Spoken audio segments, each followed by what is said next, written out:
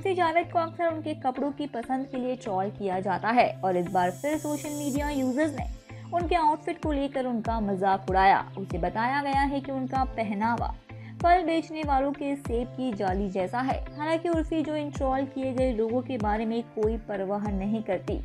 उन्होंने वीडियो को कैप्शन दिया। दरअसल हाँ आपके कुत्ते को छोड़कर सब लोग बातचीत में अपने विचित्र और बोल्ड आउटफिट के लिए हमेशा आलोचना झेलने वाली उर्फी ने खुलासा किया कि उन्हें ऐसे कपड़े पहनना पसंद है और वे आलोचना से अप्रभावित रहती है। तो अगर सोचा कि वे नकारात्मकता से झुक जाएगी तो आप गलत है।